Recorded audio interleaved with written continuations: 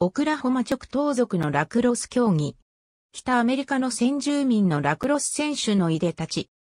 直東族、スーゾクラクロスとは、クロスと呼ばれる先に網のついたスティックを用いて、直径6センチメートル、重さ150グラムの硬質ゴム製のボールを奪い合い、相手陣のゴールに入れることで得点を競う球技の一種。漢字で、棒毛球、または袋玉と表記される。歴史や諸説はあるが、基本的にはカナダの国技とされている。ラクロスは他のスポーツには見られないほど男女の種目によりルールが大きく異なるという特徴がある。オクラホマ直東族の競技前の男女の踊りのスカロライナ州の東部チェロキー族による競技前の風景。呪い師が清めの儀式を行い、女たちが大精霊に踊りを捧げるリッチモンドヒルの白人ラクロスチーム、若きカナダ人たちチェロキー族の選手ラクロスは、もともと北米の先住民たちが自分たちの神とのつながりを深める儀式の一環として、行ったり、部族間の争いの平和的解決に用いていたものである。北米の先住民のラクロス競技は、試合前に呪い師によって聖治や杉などの葉が火にくべられ、神聖なパイプによる清めの儀式が必ず行われる。現代においてもインディアンたちがこの競技を行う際には必ずこの儀式が取り行われる。そもそものラクロスの起源は南東部とされ、スティックも一本ではなく、直頭族などは両手にスティックを持って競技を行った。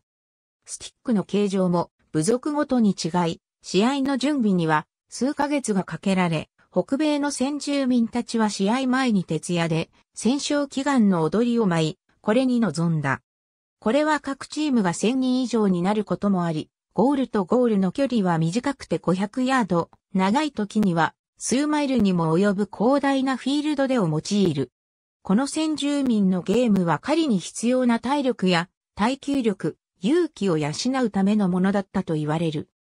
17世紀に半ばにフランス人が入植するようになると、このゲームで用いられていた道具が尺杖に似ていたことからラクロスと呼ばれるようになった。1839年にカナダに白人で構成されたラクロスチームが誕生し、ファーストネーションで構成されたチームとの公式戦が開催された。複数試合行われた結果は、ファーストネーション側の全勝だった。ラクロスを現代競技に整備したのは、カナダのモントリオールの司会、ウィリアム・ビアズで、彼はカナダとアメリカの国境付近に住むイロコイ族の保留地でこの競技の魅力に取り憑かれ、これをスポーツ競技として普及させた。つまり、スティックを一本持って行う、現在のラクロスは、イロコイ族のラクロス競技が元になったものである。1867年に、ラクロスはカナダの国技となり、さらにアメリカ、イギリス、オーストラリアなどで盛んに行われるようになった。現在は1チーム男子も女子も10人で行われる。ゴールは183センチメートル四方の正方形で、アイスホッケーと同様に、ゴールの裏もフィールドとして使うことができる。プレイヤーにはアタック、ディフェンス、ミッドフィールダーなどの役割分担があり、ゴールを守る選手はゴーリーと呼ばれる。クロスの先についた網の中でボールを揺すり、遠心力を利用して保持するラクロスに特有の動作のことをクレードルと呼ぶ。世界的な競技人口は約60万人、日本では男女合わせて約2万5千人とされる。4年に一度男女それぞれワールドカップが開催される。オリンピックでは公式競技として2回、公開競技として3回行われた。部族別のラクロスのスティック。イロコイ族、パサマクオデ族、チッペワ族、チェロキー族ラクロスには主に下記の種類があり、それぞれ類似するもののフィールドの形状やルールが大きく異なる。男子ラクロス男子ラクロスのフィールド男子ラクロスのヘッド男子ラクロスではボディコンタクトが許容されており、選手はヘルメットや防具類を装着して試合に臨む。具体的には金属製のクロス、ヘルメット、ショルダー、エルボー、グローブを用いる。トッププレイヤーのシュートは時速 160km を超えることから、史上最速の格闘球技と呼ばれている。男子は1チーム10人で、アタック3人、ミッドフィールダー3人、ディフェンス3人、ゴーリー1人で構成する。アタックは攻撃の選手、ミッドフィルダーは中盤の選手、ディフェンスは守備の選手にあたる。また、ゴーリーはサッカーなどでいうゴールキーパーである。オフェンス時は6人、ディフェンス時はゴーリーを含め7人で守らなければならず、残りのプレイヤーはハーフラインを超えることができない。フィールドの大きさは100.6メートル54.8メートル。ゴールの周りにはクリースと呼ばれる2.74メートルの円があり、オフェンスはクリースの中に入ってはいけないというルールがある。2019年から新ルールにより、半径3メートルに変更となった。1試合は、日本の公式試合では20分4クォーター。アメリカやカナダでは15分4クォーターであることが多い。クロスを用いて、相手にプレッシャーをかけてもよく、アメリカンフットボールやアイスホッケーに似ている。ボールを保持している選手のグローブやクロスを叩くこと、タックルすることは可能。また、ルーズボール時に、ボールから半径3ヤード以内にいるプレイヤーに対してはタックルが許されている。ボールがフィールドの外に出た場合、通常は出したチームの敵方に渡されるが、シュートの場合は、ボールが出た時に、ボールに一番近かったプレイヤーのチームに渡される。そのため選手たちはシュートを外した後もボールを激しく追う。これをチェイスと呼ぶ。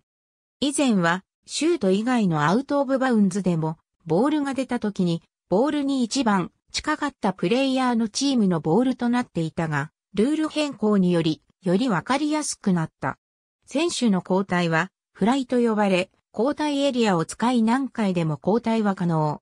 フィールド内を全力疾走で駆け回るミッドフィールダーは、2から3分おきにフライすることも多い。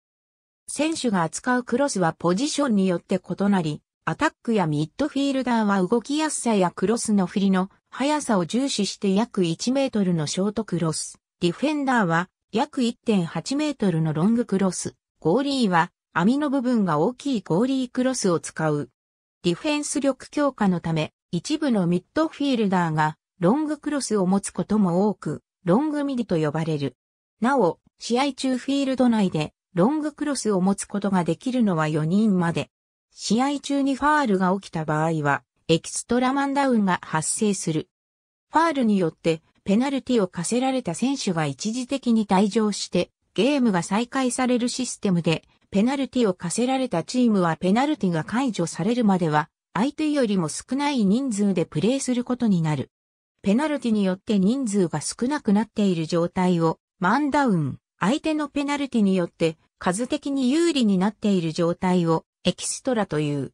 男子ラクロスのファールは、軽度のテクニカルファールと重度のパーソナルファールに分けられる。テクニカルファールとパーソナルファールでは課せられるペナルティタイムが変わる。テクニカルファールはルーズボール時もしくは味方がポゼッションしている時に犯した場合は相手にポゼッションを譲るのみだが、相手がポゼッションしている時に犯してしまうと30秒のマンダウンとなる。パーソナルファールはいかなる状況であろうと1から3分のマンダウンとなる。ペナルティタイムは、ファールの種類、審判の判断により決まる。テクニカルファールは、得点時に解除されるが、パーソナルファールは引き続き試合再開後も継続となる。また、ファールが起きた場合でもファールを受けた側がボールを落とさない限り、審判はイエローフラッグを投げて、ファールが生じたことを知らせるのみでプレーを続行させる。これをスローホイッスルという。ボールが落ちた時に試合を止め、エキストラマンダウンへと移行する。北、アメリカでは、屋内ラクロスのプロリーグ、ナショナルラクロスリーグが1987年に設立され、現在アメリカ合衆国6チーム、カナダ3チームの計9チームが参加しにディビジョン制で運営されている。また同じ北、アメリカで新たに、フィールドラクロスのプロリーグ、メジャーリーグラクロスが1999年に設立され、現在アメリカ合衆国5チーム、カナダ1チームの計6チームが参加し1カンファレンス制で運営されている。日本にラクロスが伝わったのは1986年とされている。1986年に慶応義塾大学の男子学生が日本で最初にラクロスチームを結成する。その後、大学生の流行としてマスコミ等に取り上げられると、わずか数年間でその名は爆発的に周知された。一時は女子大生のファッションアイテム化したこともあったが、ブームが過ぎて落ち着きを見せたものの、その後本気でゲームに取り組むものも着実に増えた。2006年時点で約360チーム存在していたとされる。全国大会は社会人、一般や大学チームの各地域リーグの代表が男女同時期にラクロス全日本選手権大会として行う。2009年は女子ラクロスのワールドカップがチェコで開催され、日本チームは7位となる。女子ラクロス女子ラクロスでは、ボディコンタクトが禁止されており、男子ラクロスに見られるヘッドギアなどの防具類を装着することはない。女子ラクロスのファールは、軽度のマイナーファールと重度のメジャーファールに分けられる。日本の女子ラクロスでは、木製や金属製のクロス、シャツ、巻きスカートがユニフォームとなる。以前はミニスカートとポロシャツが主流だった。ゴーリー以外は防具の類を使用しないため、プレイヤーの体に対するチェックはルール違反となる。金属製のスパイクも着用が認められていない。また、全員マウスガード着用を義務付けられている。2019年度からルールが大きく変わり、1チームは12人から10人へ変更。オフェンス時は6人、ディフェンス時はゴーリーを含め7人で守ることになる。試合時間は4クォーター制で1クォーター15分、ハーフタイムが10分ある。フィールドの大きさは横110メートル縦60メートルが望ましいとされており、グラウンドによって多少の縮小が認められている。クリースは3メートルで、女子の場合はディフェンス選手も入ってはならない。クリース前方に半径11メートルの線形を引き、半径11メートルの線形の中でファールが起きた場合は、ファールを受けた選手がフリーな状態でシュートを打つことのできる処置が取られる。このことをフリーシュートと呼ぶ。オーストラリアの全国大会では1チーム10人30分ハーフで行われ、フィールドの選手もヘルメット着用を認められている。ソフトラクロスとは、ラクロスを子供たちにも楽しめるように簡単に安全に改善したものである。子供でも楽しめるように安全に配慮し開発される。ルールは色分けされた2組のチームが最大30メートル15メートルのコート両端にある相手ゴールにボールをいかに早くインさせるかを競う。ただし、インさせる前に必ず2回以上のパスを交換しなければならない。平成9年には女子ワールドカップ開催に合わせ第1回ソフトラクロス大会が開催され、19チーム200人の参加があった。ソフトラクロス大会は2009年には全日本選手権の決勝のコートで決勝戦を行う。スピード感あふれる団体競技であり、知名度は一定以上あるもののあまりメジャーではないため、他作品との差別化として採用されることが多い。また、女子はスカートを着用し、他のスポーツと比べてファッショナブルでスタイリッシュであるため、女子を主人公とした学園物の作品で描かれることが多い。ありがとうございます。